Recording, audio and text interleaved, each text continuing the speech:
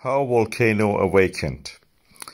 As you know, it was a week that uh, we had a funeral stage for the volcano. It looked very beautiful. It looked like a Rembrandt or Dutch uh, School of Art paintings.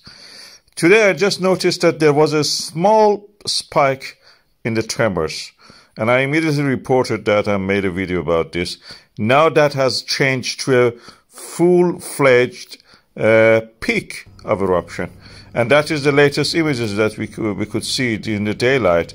The inside of the crater, we have a pool of lava.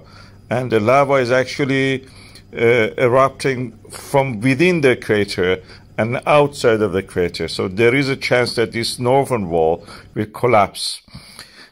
Outside of the volcano, we have several new volcanoes uh, forming. They are more or less parallel to the fissure, original fissure that existed. And as the night fell, we could see that these are following the line of the pre-existing fault lines uh, in this area.